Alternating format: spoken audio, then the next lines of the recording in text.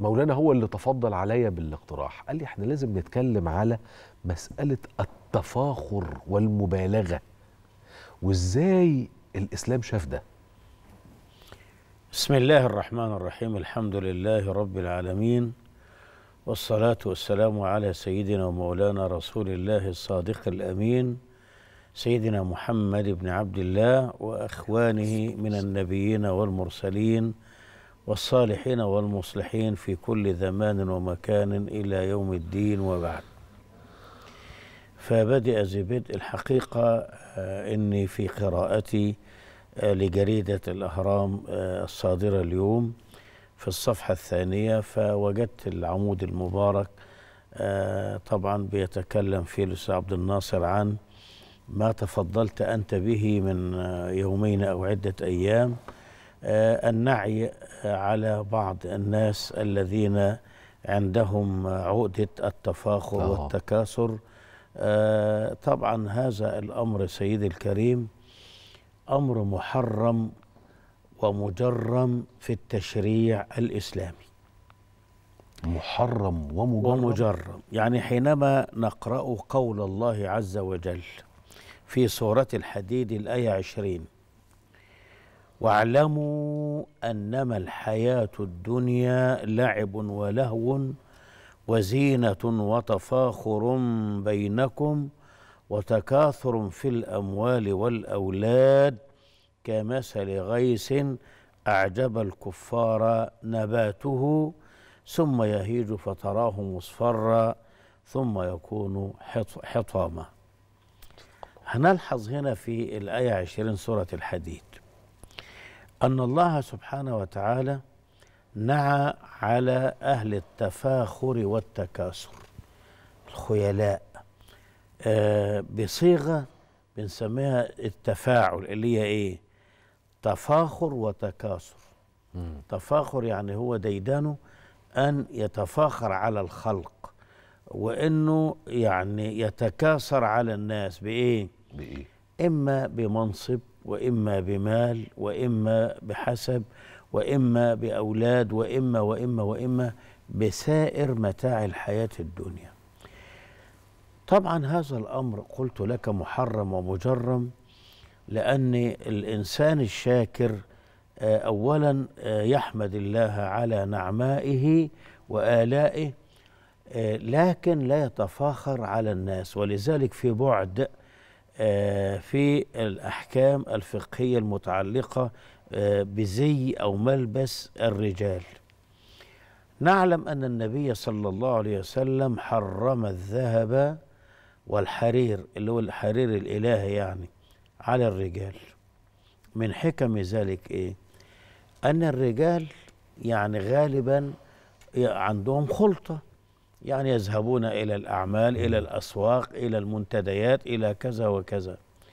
فلو أن هناك رجلا ثريا نتكلم عن المسلمين وعنده أموال ممكن هيرتدي ثوبا حريرا أو يتحلى بالذهب.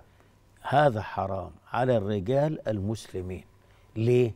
حتى لا يكون هناك صراع طبقي. ودي من حكم تحريم الذهب والفضة على مين؟ على الرجال البالغين. إنما هو مباح للنساء لأن النساء غالبا يعني يبتعدن عن المنتديات العامة. تمام؟ وفي قصص الأنبياء من لدن سيدنا آدم عليه السلام آه، مرورا بأولي العزم إلى سيدنا موسى إلى سيدنا المسيح إلى سيدنا محمد صلى الله عليه وسلم ما كان هناك تفاخر ولا تمايز طبقي. يعني مثلا شوف حضرتك إما دخل رجل من الأعراب أول مرة يدخل المسجد النبوي جاء من البادية. فيعني هم أن يقبل يد النبي صلى الله عليه وسلم. التقبيل هنا لو كان يعني عفوا إجلالا واحتراما لا شيء يعني لا, لا شيء فيه. إنما هو الرجل أراد أن يقبلها كما يفعل مع الأمراء والأشياخ في البادية. فالنبي قال له لا أنا ابن امرأة من قريش عليها سلام الله ستنا آمنة بنت وهب كانت تأكل القديد يعني اللبن اللبن الحليب الجاف أو الخبز الجاف أو اللحم المقدد آه، المجمد في الشمس. إنما أنا ابن امرأة من قريش كانت تأكل القديد بمكة. لا تعظموني كما تعظم الأعاجم بعضها بعضا. إنما أنا عبد آكل كما يأكل العبد. تربية النبي صلى الله عليه وسلم للأمة. فكان ال الذي يدخل على مسجد النبي صلى الله عليه وسلم من الأغراب ويجد سيدنا النبي عليه الصلاة والسلام والصحابة رضي الله عنهم جلوس يتلقون وينهلون من الرحيق الإلهي النوراني الرباني على فم أطهر فم سيدنا محمد صلى الله عليه وسلم. عارف الغريب كان بيقول إيه؟ من منكم أبو القاسم أو محمد؟ لأن النبي كان لا يتميز في الجلسة يعني الراجل الغريب اللي داخل يتفرس فيهم كده إن يعني يجد شخص مميز يجلس آه، بأبهة ب... فالراجل لما يغلب يقول لهم من منكم محمد؟ يقوم هو يقول له أنا. فيجده جالس على الأرض شأنه شأن السادة. زي الكل. أبي بكر عمر عثمان علي الحسن الحسين العشر المبشرين بالجنة آه آل البيت الكرام أكابر الصحابة. لا فرق. يعني شوف ولذلك ده ال- المبدأ القرآني المساواة اللي ربنا غرسه في هذه الأمة. في سورة الحجرات يا أيها الناس إنا خلقناكم من ذكر وأنثى وجعلناكم شعوبا وقبائل لتعارفوا إن أكرمكم عند الله أتقاكم. وأيضا أنت عارف فواتح سورة النساء الناس اتقوا ربكم الذي خلقكم من نفس واحدة وخلق منها زوجها وبث منهما رجالا كثيرا ونساء واتقوا الله الذي تساءلون به والأرحام إن الله كان عليكم رقيبا. حضرتك اللي بيتباهى بالأموال آه معلش يعني اسمح لي في التعبير ده عنده عقد نقص. والله مش واثق في نفسه. آه. عارف لو عنده ثقة بنفسه شوف اللي اللي اللي, اللي آذى قارون أذى نفسه. يعني قارون لما قال إيه؟ على الأموال والخزائن ومفاتيح الخزائن التي العصبة من الشباب الأشداء لا يستطيعون حملها. قال إنما أوتيته على علم عندي. وبعدين شوف بقى بيقول إيه؟ في القرآن الكريم ربنا بيخبر عنه. خرج على قومه في إيه؟ في زينته. في زينته آه. هي دلوقتي اللي يعمل لك إيه؟ يتباهى بسيارة تعدت خط المليون. يتباهى بالسيجار الكوبي آه يتباهى مثلا مليون؟ ده أنا بيتكلموا. في 10 مليون وأنت طالع دلوقتي.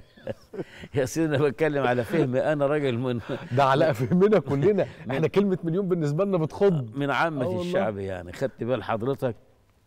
فربنا ادانا قصة قارون ليه؟ يبقى خرج على قومه في زينته. وبعدين الجماعة ضعاف الإيمان قالوا يا ليت لنا مثل ما إيه ما أوتي قارون. لكن لا اللي عندهم إيمان قالوا لا. ثواب الله. فهنا حضرتك الإنسان لما ربنا ينعم عليه بدل من التفاخر والتكاثر ولذلك خلي بالك التفاخر والتكاثر يؤدي إلى الإيه؟ الإلهاء عن حقيقة الحقائق وهي الموت والقيامة. طب نلاقيها فين؟ سهلة قوي سوره التكاثر. الهاكم التكاثر حتى زرتم المقابر. زرتم المقابر ليه؟ لأن الموت الرقدة في القبر مش مؤبدة ده هتنتقل. تص... هنصحى على على. على النفخة صح. اللي هي النفخة الثانية ونفخ في الصور فصعق من في السماوات ومن في الأرض إلا من شاء الله ثم نفخ فيه أخرى. فإذا هم قيام ينظرون. فهنا ألهاكم التكاثر التفاخر ايا كانت بقى المسميات بالعامية بغير العامية فتجد إنسان يتباهى. وبعدين زمان علمونا بقى في الأزهر الشريف أبقاه الله. أما أحد الزهاد بيقول لابن آدم إيه؟ إيه. أتتباهى بثوب حرير وهو خلعة الدود. ويتباهى بكساء صوف وهو حلاقة الخروف. صدقني. سبحان الله.